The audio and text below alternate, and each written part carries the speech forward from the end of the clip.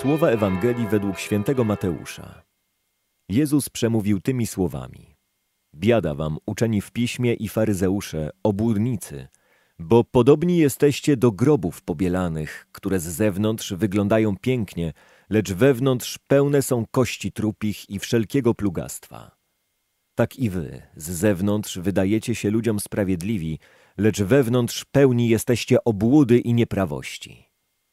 Biada wam, uczeni w piśmie i faryzeusze, obłudnicy, bo budujecie groby prorokom i zdobicie grobowce sprawiedliwych i mówicie Gdybyśmy żyli za czasów naszych przodków, nie bylibyśmy ich wspólnikami w zabójstwie proroków.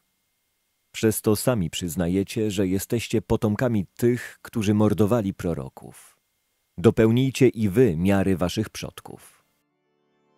Jezus kontynuuje wczorajszy temat, piętnując obłudę faryzeusze. Trzeba nam dziś zastanowić się, ile z tego, co Jezus zarzuca faryzeuszom, jest także w naszym życiu. Czy i ja nie jestem obłudny, jak rozmówcy Jezusa z dzisiejszej Ewangelii? Obłudnikiem jest ten, kto co innego deklaruje, a co innego robi. Jezus zarzuca faryzeuszom obłudę nie tylko w kontekście przeszłych wydarzeń, ale również przyszłych.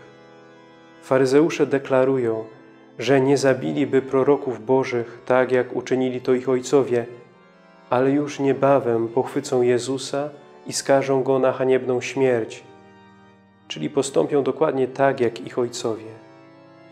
Łatwo jest dostrzegać zło w sercach innych ludzi, a najtrudniej we własnym sercu.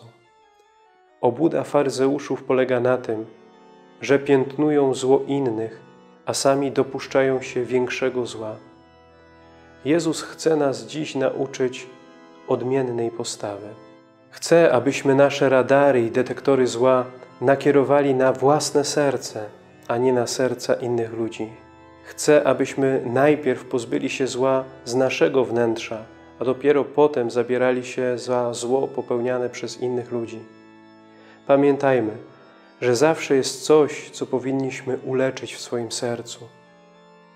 I za to powinniśmy się zabierać w pierwszej kolejności.